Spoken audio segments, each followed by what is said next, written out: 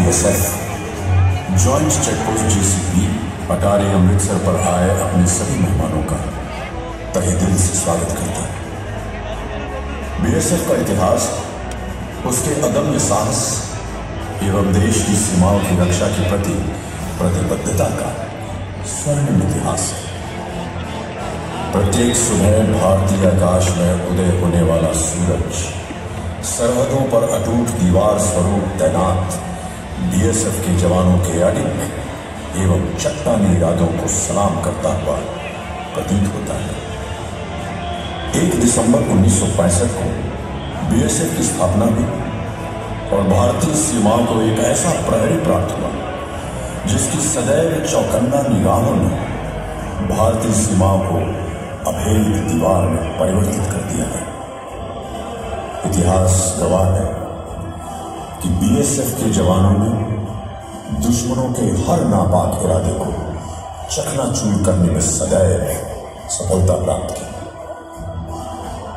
कश्मीर की बर्फीली एवं निष्ठुर सर्दियों से राजस्थान की तपती मरुस्थल और रण के दलदल तक पूर्व में सुंदरबन के मैंग्रोव जंगलों से मिजोरम त्रिपुरा की दुर्गम पहाड़ियों तक बीएसएफ के जवानों के हौसले कभी भी पस्त नहीं हुए आज विश्व की सबसे बड़ी border guarding force BSF Pakistan एवं बांग्लादेश के साथ पड़ने वाली लगभग सात हज़ार किलोमीटर से भी ज़्यादा लंबी भारतीय सरहदों की सुरक्षा सुनिश्चित करती है। इन सरहदों पर आने वाली हर एक चुनौती का सामना बीएसएफ के जवानों ने अत्यंत वीरतापूर्वक किया है।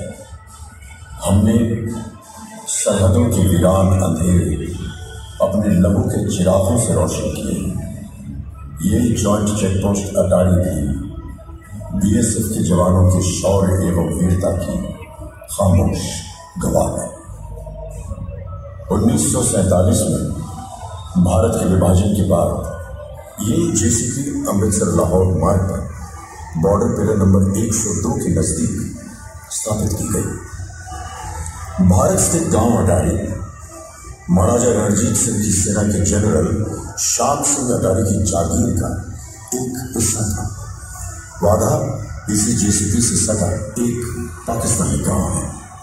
स्वतंत्रता के पश्चात इस चेकपोस्ट पर राष्ट्रीय ध्वज को सर्वप्रथम 11 अक्टूबर उन्नीस सौ सैंतालीस को फहराया गया पचास के दशक के मध्य में उसकी सुरक्षा एवं निगरानी की ज़िम्मेदारी पंजाब पुलिस को सौंपी गई। वर्तमान स्वरूप में होने वाली रिट्रीट सेरेमनी को सबसे पहले सन उन्नीस में आरंभ किया गया था।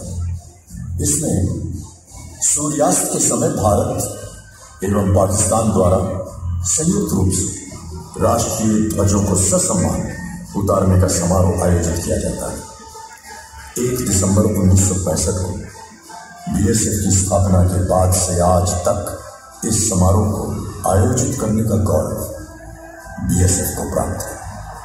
ड्रम की आवाज़ पर परेड करते बीएसएफ के जवानों के सजे हुए कदम, आत्मविश्वास से चौड़ी छाती और उनकी उत्साह से भरी भंगिमा भारतीय गर्व के परिचायक है। और हमें इतिहास में मुजायमान शब्द याद दिलाती है युद्ध के नगाड़े बज उठे हैं। रणबांकुरों ने अपने युद्ध क्षेत्र का चयन कर लिया है और शत्रु का सामना करने का समय आ गया है। तो आइए, अपने देश के कोने कोने से आए देशवासियों एवं विदेशी मेहमानों सहित अब हम सब अपने प्यारे देश भारत की आम बान शान से पूर्ण परेड बीटिंग द रिट्रीट देखते हैं।